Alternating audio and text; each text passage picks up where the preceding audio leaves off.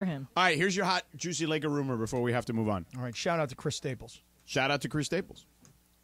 D'Angelo Russell sign and trade for DeMar DeRozan. Okay, see now that I'm in on. Okay. That is a no-brainer for me. All right. You said earlier Austin Reaves, and once you said Austin Reaves, That's it. You were out. I'm out. yeah, especially now that he's seeing. I mean, do, do you think it's a plus or a minus, uh, a positive or a negative that he's allegedly been seen with Taylor Swift at a bar in Arkansas? I think it's unbelievably positive because Okay. just imagine this. Imagine imagine a game next year, a Laker game yeah, where T Swizzle's sitting there. with Adele. Yeah, Think about that. yeah, Taylor Swift and Adele Right. are sitting there courtside Yeah. and they're cheering on one man on the floor and one man who's controlling the operation. right, right. You know? Yeah, So I'm I'm out on, on trading Austin Reaves because Austin Reaves to me is a guy that you don't want to give up on. He's the next five, six, seven years, that's your guy.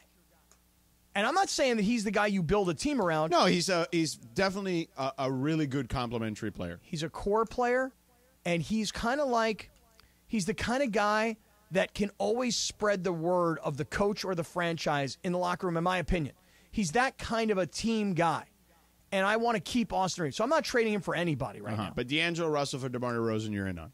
No brainer. Yeah. 100%. I just don't know if the Bulls would be in on it, but that's a report that's out there today. Well, if the Bulls would want to get rid of DeMar DeRozan and the Bulls are in some sort of rebuild or whatever it is, Well, they don't really have a a, a point guard right now because obviously Lonzo is, is dealing with those injuries and he may never play again, according to some reports. So that's part of the equation here. I mean, DeMar DeRozan, two years too late, unfortunately, two years older, unfortunately, but still, D'Angelo Russell is not in my plan.